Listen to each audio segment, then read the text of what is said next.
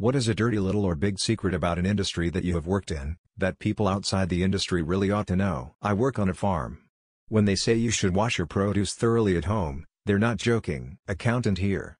It is actually ridiculously easy for about 90 of you to calculate and file your taxes. After working in the travel industry I can tell you that hotel room rates are often not fixed prices.